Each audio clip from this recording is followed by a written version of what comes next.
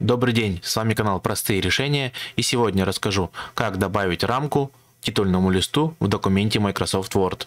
Итак, для того, чтобы добавить рамку титульному листу, нам нужно перейти во вкладку «Дизайн». Далее в правом верхнем углу выбираем пункт «Границы страниц». Затем выбираем «Рамка» и здесь можно выбрать один из предложенных типов рамки. Выбираем нужный нам тип рамки. Далее мы можем установить цвет и можем установить ширину.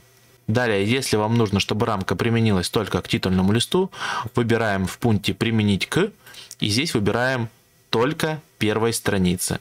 Нажимаем ОК, и как видите, у нас появилась рамка. Причем она появилась только на первой странице.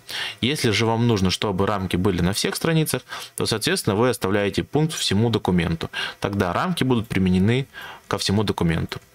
А если это видео вам помогло, ставь лайк и подписывайся на канал «Простые решения».